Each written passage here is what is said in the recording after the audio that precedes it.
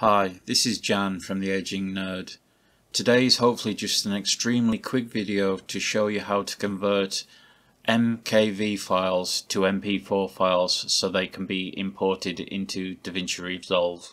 Here we have a screenshot of DaVinci Resolve with Windows Explorer opened over the top of it. If you look at the red arrows, they all point to the same directory. So DaVinci is looking at the same folder as Explorer.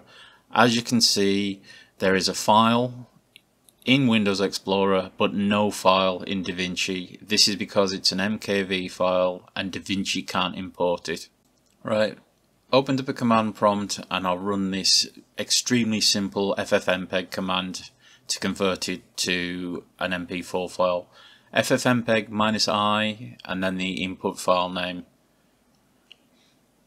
Then we're going to map 0 which means we want everything in the input file copied to the output file. No changes to anything at all, so minus C copy to keep all the encoders, the new file name, and then press enter. Because there's no encoding, literally a few seconds later for this size of clip and we now have a new file. I'll do a dir on the directory and you can see there's two files in there. Test MKV file, test MP4 file We'll now go back to DaVinci and see if it's imported the MP4 file. Here's an updated screenshot. Red arrows show all the same folder. Green arrow in Windows Explorer shows two files, the MP4 and the MKV. The green arrow on DaVinci just shows the MP4 file as this file type can be imported.